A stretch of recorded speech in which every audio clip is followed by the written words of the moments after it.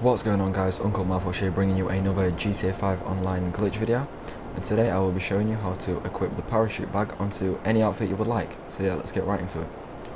So as you can see guys, I have put on a outfit that doesn't already have a parachute bag on it. So what you're firstly going to want to do is head over into Ammu-Nation and just yourself any parachute bag that you would like to equip to your outfit. So let's say I would like the, let's say this black combat one, just purchase that. And what you're going to want to do is head out. So, uh, style, parachute on.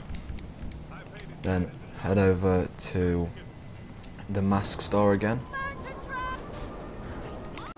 So as you can now guys see, I have arrived in fact at the mask store.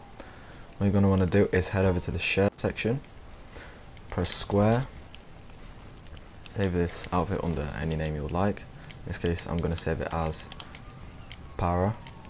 It already has come up. Exit the shirt section. And then now guys, your outfit should be saved. See guys, uh, the outfit without a parachute, the outfit that we've just saved. So guys, let me know if this glitch did in fact help you. Leave a like, uh, subscribe, and yeah, peace.